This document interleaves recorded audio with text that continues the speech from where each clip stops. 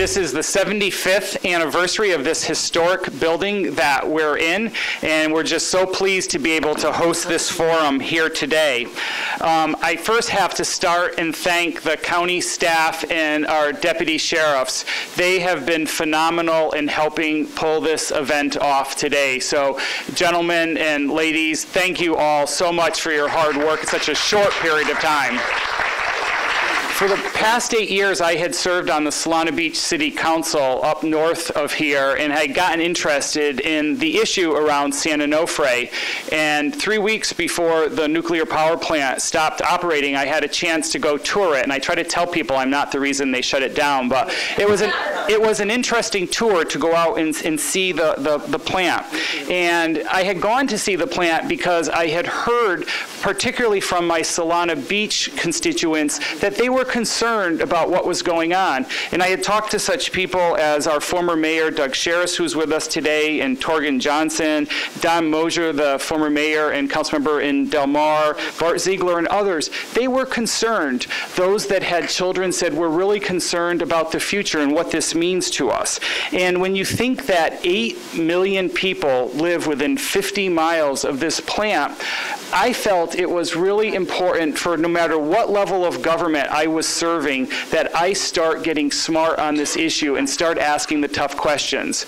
Well, this past January, I became the first new supervisor in 18 years, and it's my job to ask the tough questions with my colleagues. And that's why when I was approached and asked, would I host this event here at the county, I said, yes, I believe we need to ask these questions. And when I started,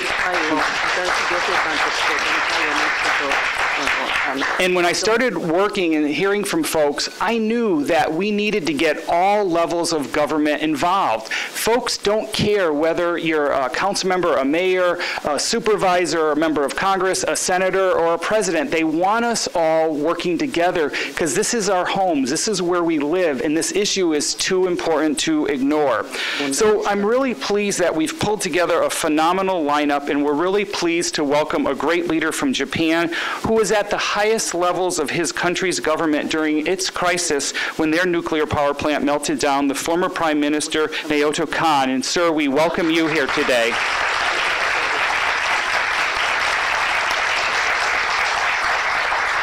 We're also pleased to welcome here the former Nuclear Regulatory Commissioners Gregory Jasko and Peter Bradford, nuclear engineer Arnie Gunderson, Kendra Urick, um, nuclear who's the nuclear campaigner for Friends of the Earth. And I'm also pleased to have a former fellow colleague who is a mayor of Santa Ana. And we were talking prior to getting this started today what it's like serving at the grassroots level. When you think San Diego County, we're the second most populated county in California, the fifth most populated county in the United States. And when you think that this area of Southern California is one of the most populated areas in the world, it's critical that we all work together. And um, I'm really pleased to introduce our moderator for today. He's the mayor of Santa Ana, and he's also chair of the Energy Committee at the Conference of Mayors, the Honorable Miguel Polito, who will be our moderator today. Welcome, sir.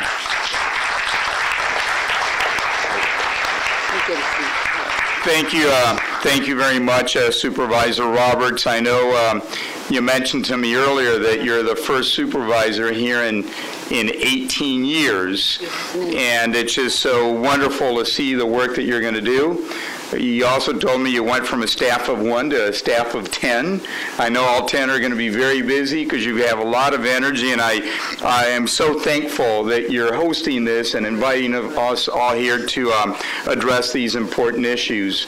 Um, as I begin, I want to take a moment and thank the uh, Samuel Lawrence Foundation. I understand that they've been very helpful in putting this together.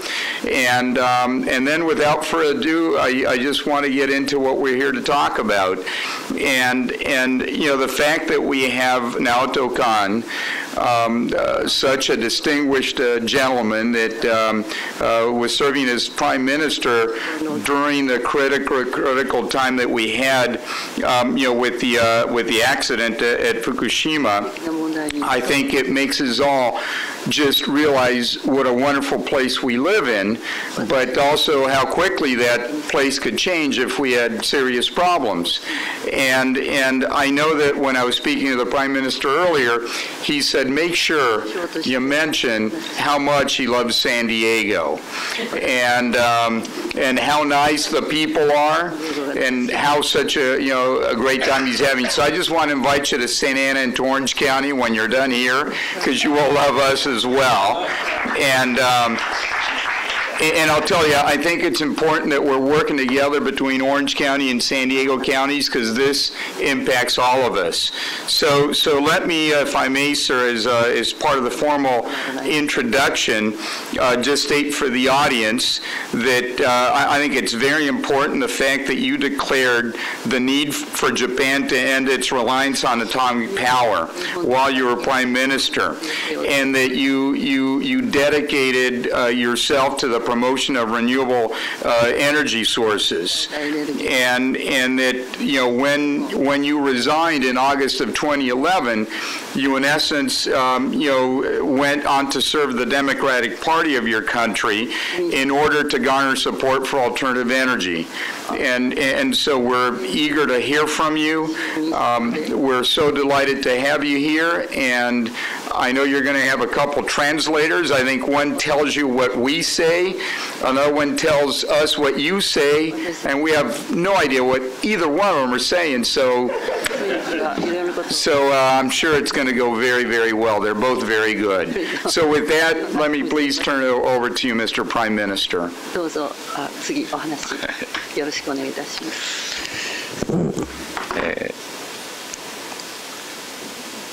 こういう形であの皆さんからお招きをいただいてありがとうございます。Thank you so much for inviting me. I'm honored to be here in this position and take part in this gathering. まずあのプリドさんにあのお約束を最初にしておきたいと思います。あの次に来る時にはあのサンタアナにえぜひ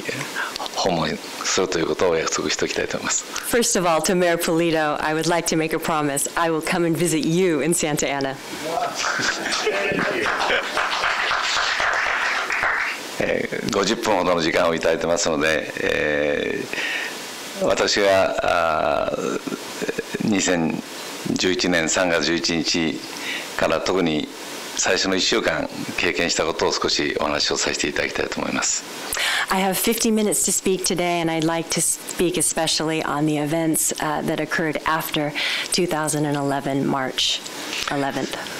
3.11のお14時46分、えー私のおいた国会も大きく揺れました。on March 11, 2011 at 2.46 p.m. In, in the House of Parliament building, we felt a huge, huge uh, earthquake.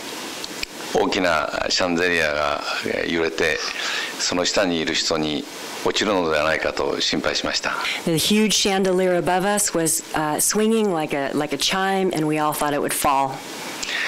揺れが止まって、えー、すぐに委員会が休憩になりまして、えー、官邸地下にある緊急のお危機管理センターに、えーおりました So finally, the uh, swaying from the earthquake was over, and the emergency headquarters underneath the parliamentary, uh, the parliamentary uh, area was under emergency uh, lookout. 最初に、えー地震の規模あるいは津波の警報などがあ入ってきました At first, there was the tsunami warning signal and only the earthquake warning signal. That's all そ we し had. 原発については最初に入ってきたえー情報はえースクラムによって無事にすべての原発が停止したという情報でしたそれを聞いた時にはほっとしました So he was relieved to hear the very first information from the nuclear facilities was that it had, without any emergency incident, had uh, gone offline without a problem. And he was very relieved to hear this. しかしそれから約1時間後に来た情報は、えー福島第一サイトで全ての電源が喪失したという情報でした However, one hour later at the Daiichi, which is the very first, uh, the first four plants of Fukushima, there was completely information, uh, completely different information coming in, and it was not looking good. でそのさらに20分後に全ての冷却機能が停止をしたという情報が入りました And after that, we heard that all cooling systems were failing. この電源喪失と冷却機能が停止ということが何を意味するか私にもうその知識がありましたので本当に背筋が寒くなるそういう覚え思いをしました And what are we going to do? I immediately thought there was a chill that ran down my down my spine. What are we going to do in order to cool these reactors? 皆さんもご存知のように、えー原子力発電所は、えー核反応が止まったあーからといって、えー自然に冷えるものではありません So, as everyone knows, when uh, the reactors go offline, there is absolutely no way to cool them uh, naturally. 自己崩壊熱によって長期にわたってえー熱が出ます So, as long as time goes by, it just gets worse and worse, and the heat continues to rise. えー特に、えー停止直後の原発では冷却が止まるとその熱によって、えー圧力容器の中の水が蒸発してなくなってしまいます The biggest problem there with the uh, continuing heating of the of the reactors is that the steam from the remaining water that's there to cool it down completely evaporates.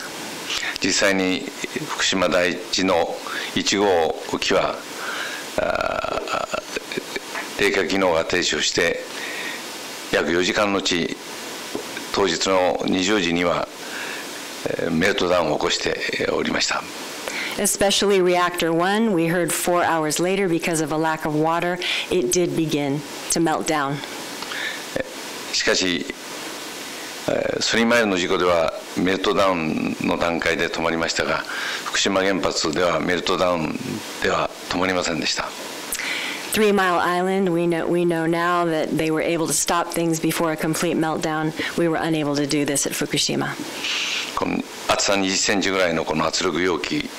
そのものを溶かして、えー溶けた燃料は圧力容器から外へ出て格納容器の底にドタドタっとこう落ちたメルトスルーを起こしたわけです。The containment vessel is about 20 centimeters, 20 centi, いや20 centimeters thick, and it just started melting through and started melting through the corium very slowly. そして圧力容器の底の約厚さ 2, 2メートルのコンクリートをその熱でえぐり始めました。こう And in continuing this process, there is a two meter thick concrete containment vessel which also began to leak. もし、えーこのコンクリートを突き抜けて、えー溶けた燃料が外に出ていればあもう誰も近くに近づくことができなくなってたでしょう And if you had a complete breach of this two meter concrete barrier, there is no way that anyone would even be able to come close to make efforts, emergency efforts to contain it. う幸いにしてその段階で外から水を格納容器に入れて、えー溶けた燃料の上に水が来るそういう状態にすることができました So then we started adding water. Uh, we started pouring water from various areas onto the melted, to the to the melted uh,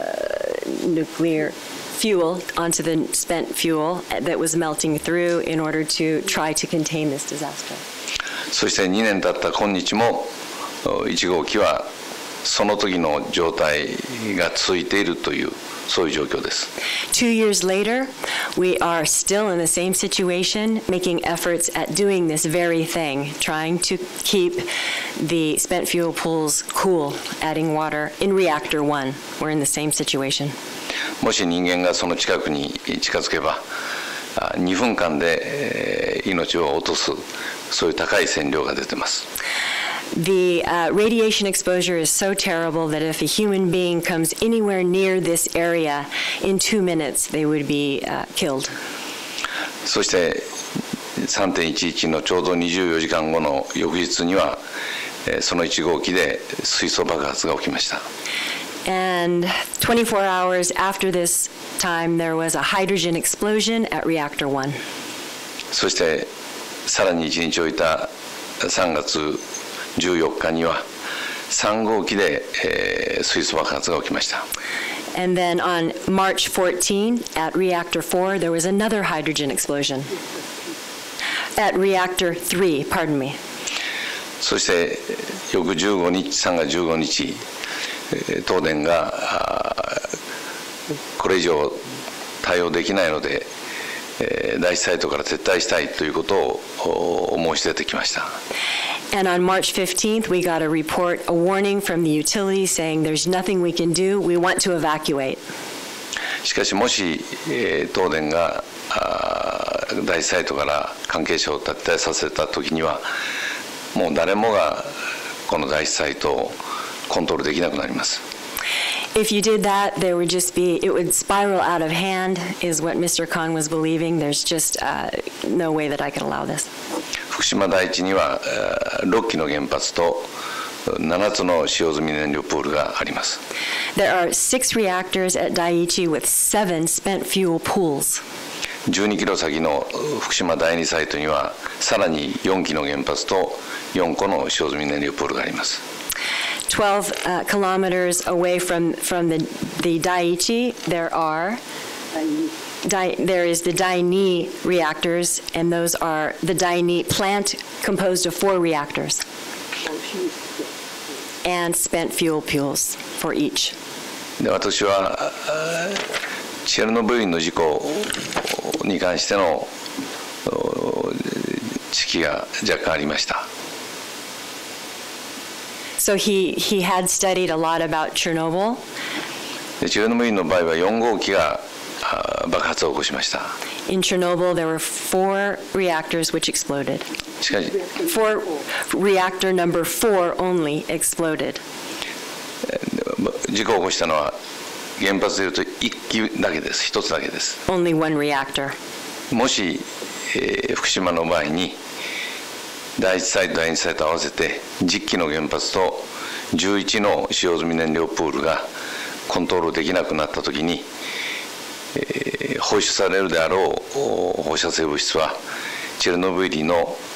何十倍にも達するだろうそのことを私は考えました Okay. What he thought was if in Fukushima, the 10 reactors with 11 spent fuel pools, if the, these were all to explode, it would be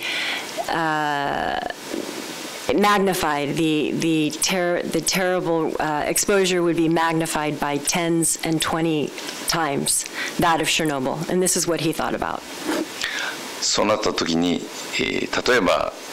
東京を含む地域からもお 人々が逃げなければなくなるのではないかと考えました In this case, it would be definitely necessary to evacuate all of Tokyo. 実際に、えー原子力政策を推進してきた、えー原子力委員会のお委員長であった近藤氏に、えー最悪のケースについてシミュレーションを当時依頼しました He consulted with the Nuclear Regulatory Safety Commission, and whose name is Mr. Kondo, and they said, "What should we do? What should we do?" And he talked about this with his, uh, with Mr. Kondo.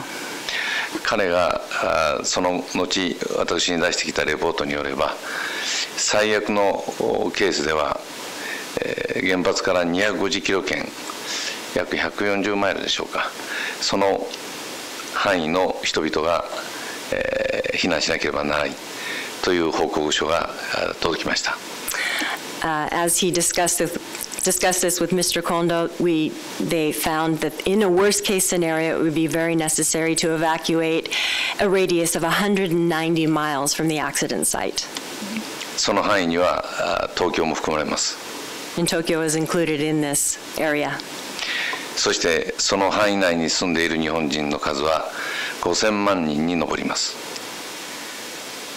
So the only so if such a such a scenario were to happen, there would only there would be only 500,000 people left. 現在16万人の皆さんが福島原発事故のために避難をしています。At the present time, there are 160,000 people that have been evacuated from Fukushima. 彼らは家族がバラバラになり、あるいは仕事を失い、えー、大変、えーまあ、人生のこの形を大きく変えざるを得ない状態に今あります。As a result, people have had to flee from their jobs, family members have been spread out all over the country, and the very fabric of the society in Fukushima, their very lives have been completely disrupted and turned upside down. もし5000万の日本人が住んでいる家を出て仕事を離れて学校を離れてあるいは病院や施設を離れて逃げ出さなければならなくなったとすればその過程でも 多くの犠牲者が出たことは間違いありません。If 500,000 people had to evacuate hospitals, schools, jobs in this whole process, it just would have been um,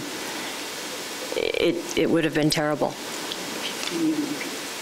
Pardon me? 50 million people in a worst case scenario.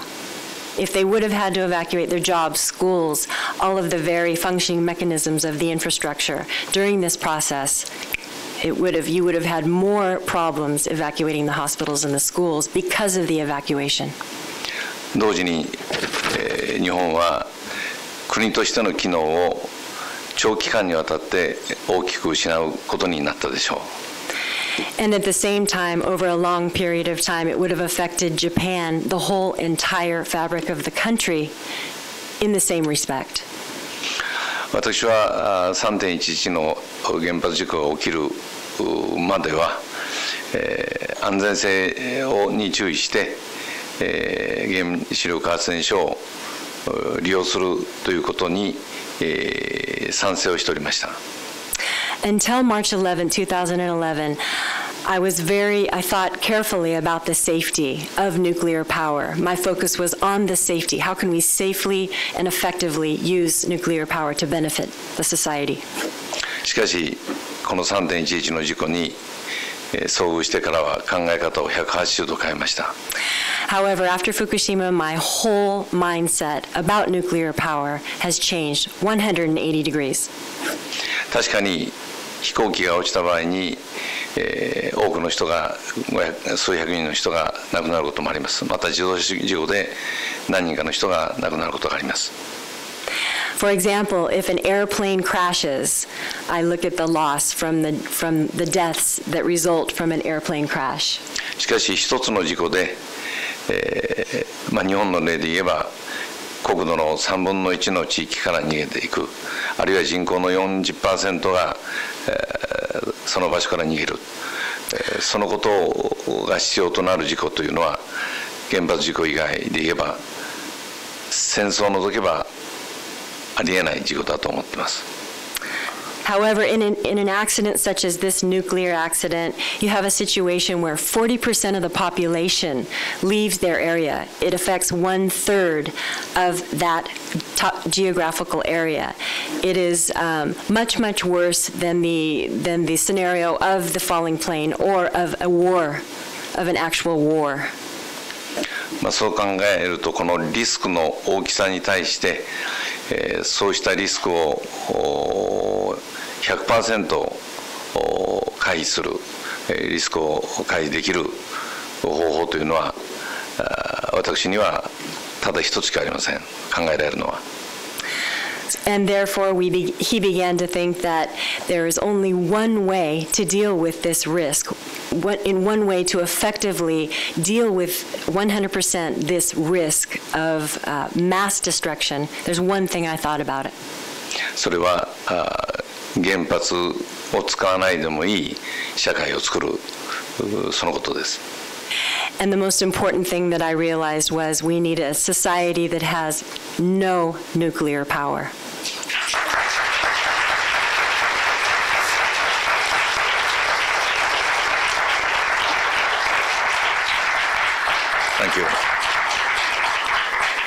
そしてそのことはあ十分に可能なことです And this is very, very possible. 事故の起きた後に、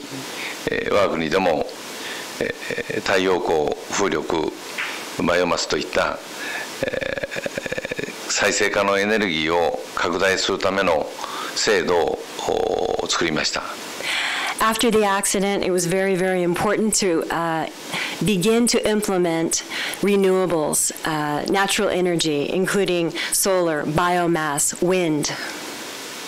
我が国では3.11の時点ではそうした再生可能エネルギーは水力以外では1%程度しかありませんでした Okay. And before the accident, the, uh, before the 311 accident, aside from hy- hydro propulsion, that sort of renewable energy, there was only 1% of resources were devoted to other renewables. しかし、えー、その制度ができて今約半年になりますけれども太陽光発電だけでその半年間で原発2.5基分の計画があー進んでます2.5. ききにあの原発2.5基 Okay. 基分分の量あの And 発電 in, 量の okay. And in the six months since this, uh, since this system of implementing renewables has been instituted, we have been able to access the amount of 2.5 nuclear reactors harnessing of power through solar energy generation. そして、えー風力についても今あー海の上に浮かせる大きな風力発電の計画が進んでます There's a big plan and a big, uh, there's a big plan right now to in- implement wind, windmills in the ocean uh, now, フローティング floating in the ocean uh, in Fukushima, and that's in, in, in process. こうした再生可能エネルギーの拡大は、えー経済的にも大きな効果をもたらします And we are beginning to see that economically, this just makes more sense. The renewables are making more sense from the economic standpoint.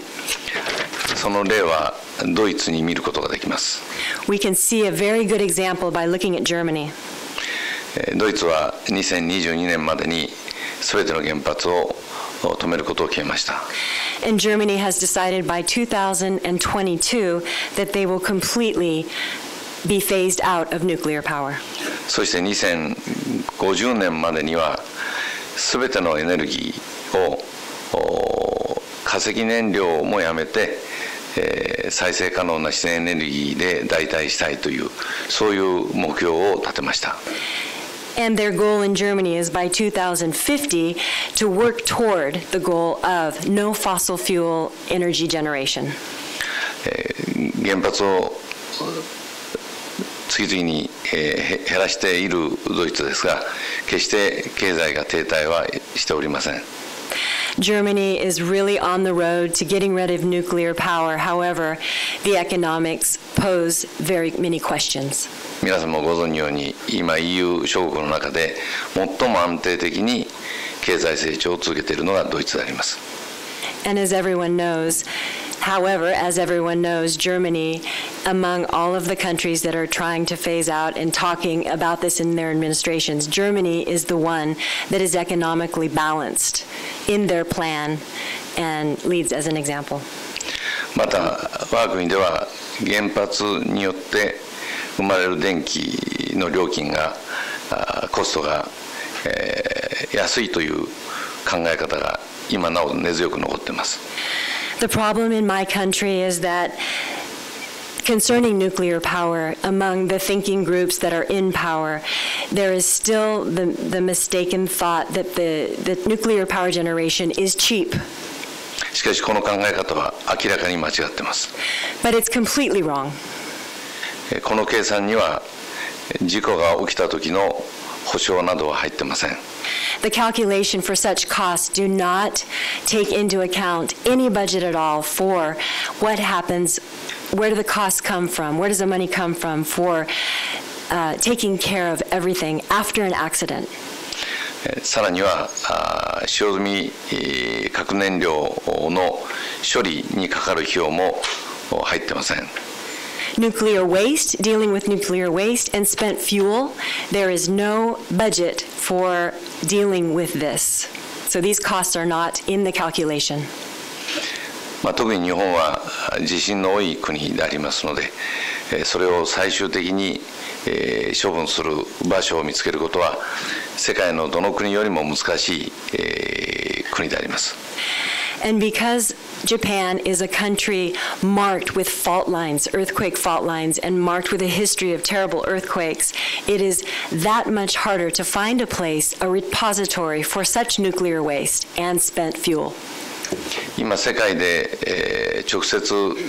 使用済み燃料を投棄するう具体的なあー設備を作っているのはフィンランドのオンカロであります In the world, the biggest uh, repository for spent fuel is presently in Finland. Finland, no, どこオンカオンカロオンカロオンカロ私はその記録映画を見ました He'll talk about this uh, data and oh, he saw a documentary on this repository in Finland. その題名はあの日本名では 10万年後のお安全という題がついてました Um, the title of this in Japanese is After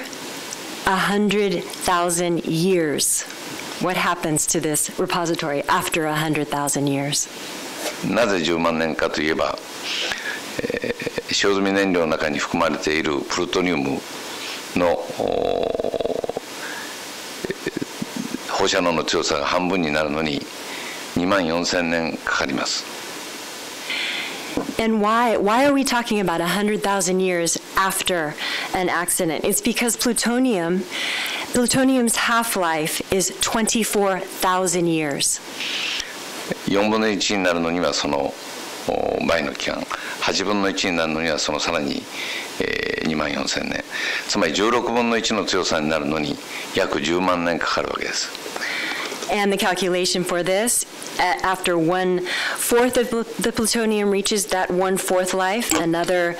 another 24,000 years. One tenth, another four- 24,000 years. And so finally, you come to the calculation of one sixteenth, equaling 100,000 years. つまり10万年間あ人間から隔離した形で、えー管理する In other words, it's, it's us, the humans, the, it's mankind that needs to babysit this nuclear waste for 100,000 years. それにかかる費用は私たちが負担するのではなくて私たちの子や孫やさらにその子や孫が負担することになります And the cost, who bears the cost for this? The cost is passed on to the generation after us, and after that, and after that, and so on. まあ、そういうう将来のえー 子どもたち孫たちに、危険なものを残してしかも大きな経済的負担を残すことは私は我々世代が取るべき道ではない、倫理に反することだと思っています。And so, what I believe is leaving this cost, as well as the danger, the risk, to our grandkids and to our progeny, is not, not only the risk, but the danger and the responsibility and the financial cost is absolutely ridiculous.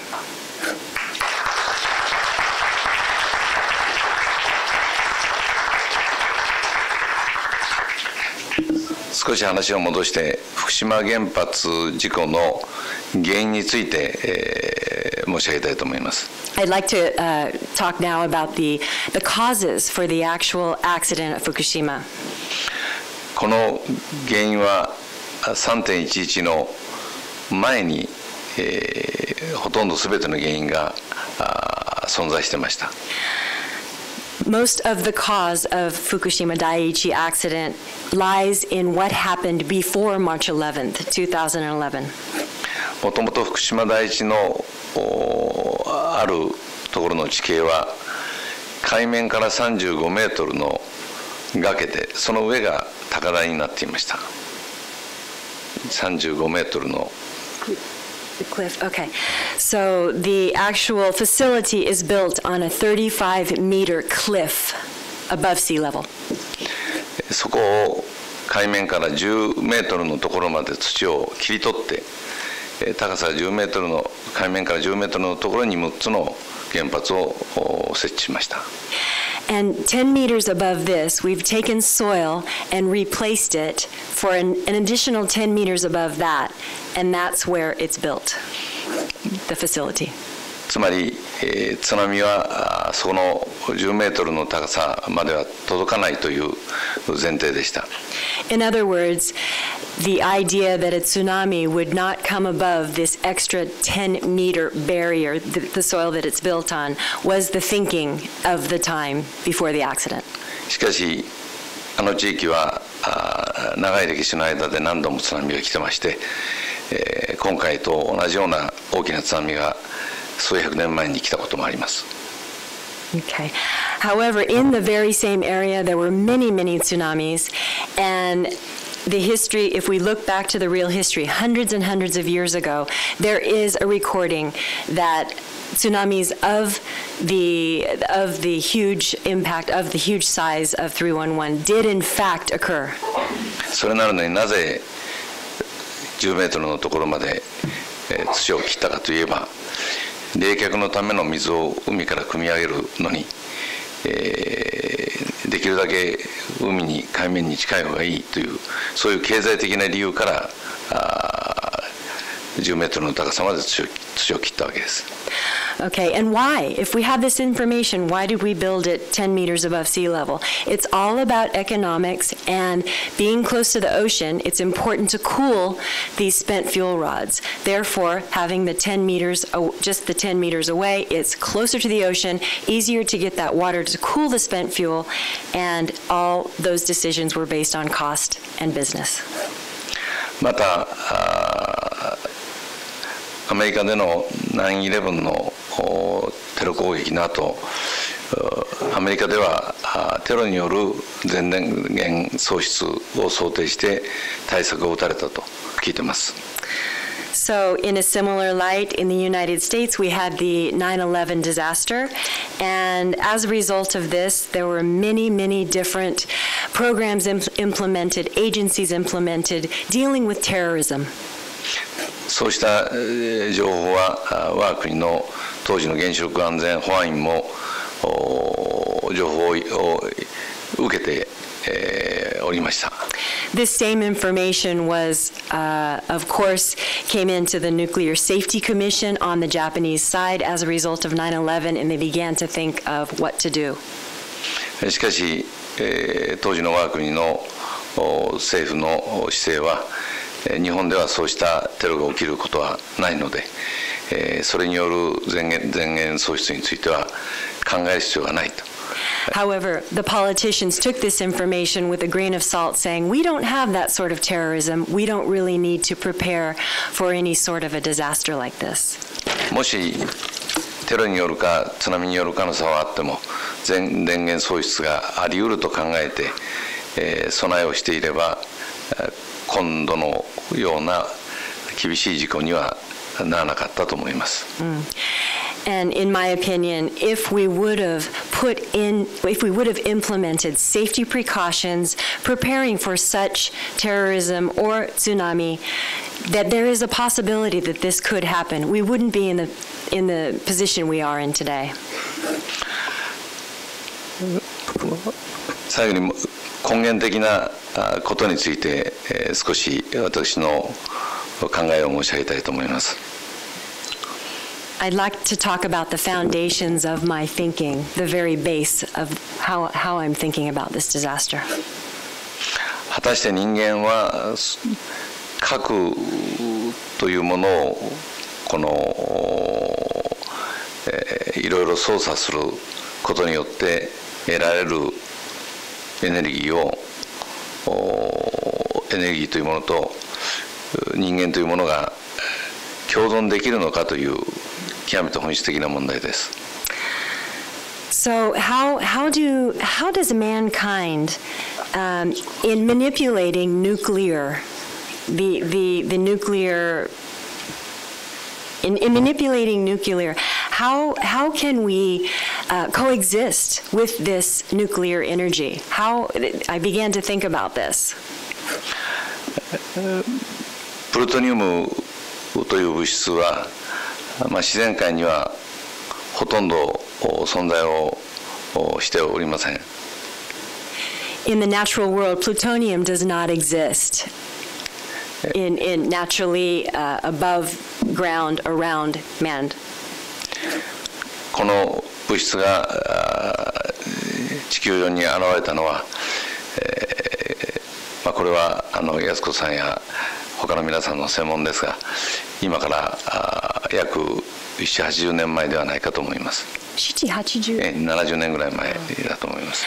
The substance of plutonium, we can refer to um, Dr. Yasko uh, and, and the other professionals here on this. However, we've only been around plutonium, humans dealing with this, for 70 or 80 years. 今この地球上に生存している生物は地球の環境に適応したものだけが生存していることは言うまでもありません今地球上に生存している、まあ、人間を含む生存している生物は地球の現在の環境に適応するものだけが今生きてるわけです。Yes. Right now, mankind is dealing with the resources we have, and we've been able to adapt to the natural resources. もしこの地球がもっと放射能の強い星であったらあるいはもっと放射能に強い生物が生き残ったかもしれません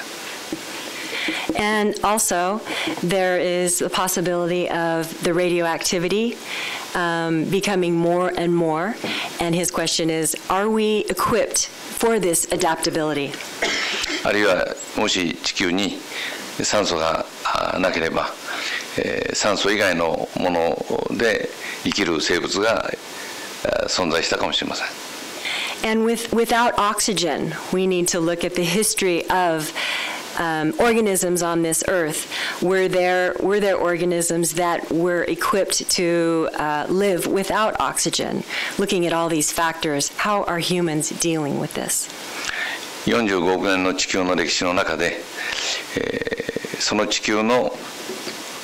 うんまさに大気とか 放射能の高さ強さとかそういうものに適応するものが現在生きてるわけです In the 45 million year history of the Earth, the only, the only remaining living organisms were the organisms that were able to adapt to the changing environment, the global warming, all of the changes in our oxygen, all of the changes in, our, in the elements that keep us functioning and metabolizing. そのお地球の環境というものをプルトニウムというものは根源的にその条件を変えてしまう、そういう性格を持ってます And what I believe is because of plutonium and its recent, uh, the, the advent of bringing plutonium into the environment of the Earth is basically, uh, I believe that we just can't uh, coexist. もちろんプルトニウムだけではありません現在福島では、えーセシウムがたくさん残っていてえーそれによるう放射線障害があ将来に向かって大変心配されています And of course, it's not just plutonium, but radioactive cesium in the in the case of Fukushima that completely puts our uh, our adaptability for radiation, contamination, and exposure, and in a completely new uh, re- realm and dimension. そういった意味で、えー地球との環境と人間があー共この共存することに対して人間自身がその条件をお変えるうーそのことがあー許されるのかという非常に根源的な問題です。 And so we return to the basic premise that living on this earth is mankind. Mankind is manipulating our environment. Can we, we have created this situation, we, have, we are standing at a precipice where we've created this situation. Will we be able to survive? 私は少年の時代にえー父親からギリシャ神話の中にあるプロメテウスの話をよく聞かされました When I was a young man, I heard a lot of important, important thoughts from Prom- Prometheus, Prometheus, the Greek Pr- Prometheus, from my father. まあ多くの方もご存知だと思いますがプロメテウスという神様が火を知らない人間に対して火を教える話です And so, what we learned from God, Prom- Prometheus, was that the people that don't understand about fire are those that are teaching about fire. で火はあ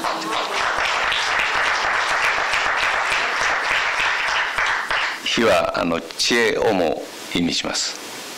知恵ですね Chie. The fire is the symbol for wisdom. そのプロメテウスが人間に火を教えたことを知ったゼウスの神が怒るわけです And so, Prometheus taught this fire, this wisdom, to Zeus, the king of the gods. ゼウスはプロメテウスに対して人間に火を教えたことが人間にとって幸せになると思って教えたんだろうとしかし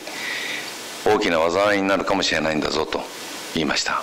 And Zeus said to Prome- Prometheus, "Yes, it can bring us it can bring us happiness and it can bring us understanding. However, you may end up it's going to be a rocky road and you may end up with some problems." プロメテウスは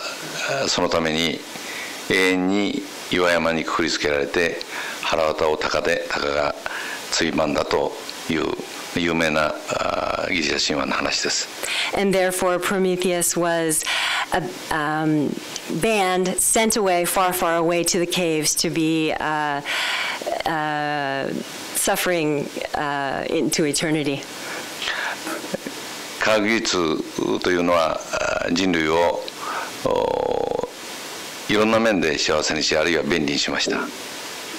what we've done in, in the history of mankind is we've created and adapted on the premise of um, um, convenience. しかし同時に、えー、より強力な兵器を生み出しそして、えー、より大きなあ事故を起こす原発をも生み出しました。At the same time, we've created terrible weapons, and in doing so, we've created terrible um, destruction. 私が政治家を志した一つの理由は科学技術というものをきちっとコントロールするとそれは政治の仕事だと考えたからです Why did I become a politician? I wanted to understand, I wanted to control nuclear. I wanted to figure out a way to control nuclear power. まあしかし残念ながら我が国の原発事故を防ぐことはえーできませんでした And unfortunately, I learned through the Fukushima accident it's impossible to control nuclear power. まあ、現在アメリカや日本では原発の建設は止まっているあるいは少なくなっています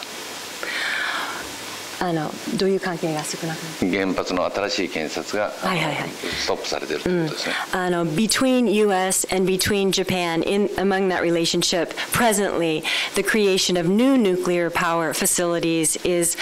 in general, stopped. There is not a surge for creating more. しかしいくつかの国では独自のエネルギー源を持ちたいために原発を新たに作る動きがまだ続いています。Unfortunately, there are other countries, aside from the US and aside from Japan, that believe that having nuclear is the answer. 例えば、トルコとかインドとかベトナムです。For example, India, Turkey, Vietnam. 現在、日本の原子力メーカーとアメリカの原子力メーカーが共同して、それらの国に新たな原発を輸出をしようとしています。And right now, Japan, with the help and support of America, are working with various nuclear、um, makers in order to export that technology. 私も3.11の前には、そうした国々の主張に、首相、首脳にですね、えー、に対して、えー、日本やあるいは日本とアメリカの共同して開発した原発を最も安全だから導入してほしいということを3.11前はあの提案をしてました。And even even I, to be honest, I was among those promoting because I believe nuclear was the safest. Uh, safest form of energy, and I was among those promoting the export of this technology. しかし、今はそのことを恥じております。But right now, I'm terribly embarrassed about this. 今、それらの国にとっても将来のことを考えれば新たに原発を導入するのではなくて逆に再生可能エネルギーの技術を導入する。そのことがより良いことだと信じるからです。What I believe now is that we need to think about the future of these countries, the future of these countries that are not prepared in case there was a nuclear accident. We need to promote nuclear, we need to promote renewables, natural, um, renewable energy to these countries. まあ現在このサンディエゴの近くの、えー、オンなんて言いましたっけあの原発は。サン・オノフレの原発について皆さん方が心配をされてその再稼働に反対されていることを私もよく知っております。I'm very, very, um, I'm keeping I'm reading a lot of information and hearing a lot of information on all of all of the activists and all of the citizens of Southern California that are working hard to prevent restart at San Onofre um, nuclear power generator, generating station. まあ、同時に、えー、アメリカにおいても、えー、再稼働させるべきだという人たちあるいは企業があ 力を持っていることも知っております。And at the same time, he knows very well in America we have corporations and we have government agencies that are fighting, that are fighting to um, implement restart. その状況は日本でも同じです。It's exactly the same in Japan. 多くの国でも同じ状況です。And it's the same situation all over the world. 私はそうした世界の動きを見て、やはりこの原発について疑問を持つあるいはそれをやめた方がいいと考える世界の人たちがやはり協力をしてネットワークを作って、えー、事故の危険性あるいは原発のコストの高さを、えー、世界の人々に知ってもらう努力をすべきだと考えます。What I what I'm thinking is the most important part to deal with this is to create a network, to create the conversations around the world to discuss this problem.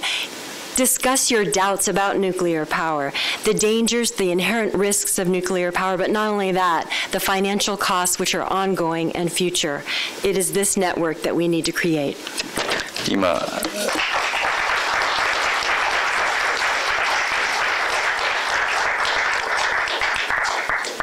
今3期目の原発を作ろうとしている台湾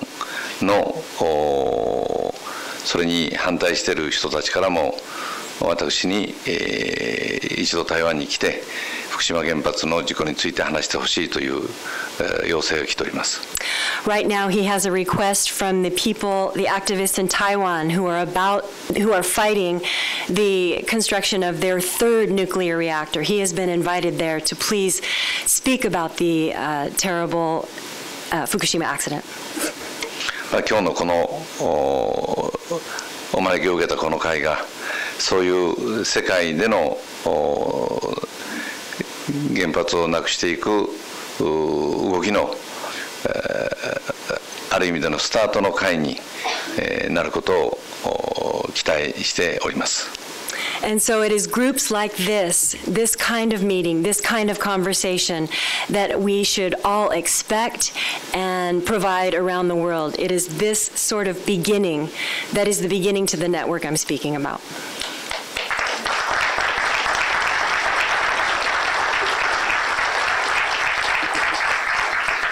そのことを申し上げて私の話ということにさせていただきます。Thank you very much. Thank you very much.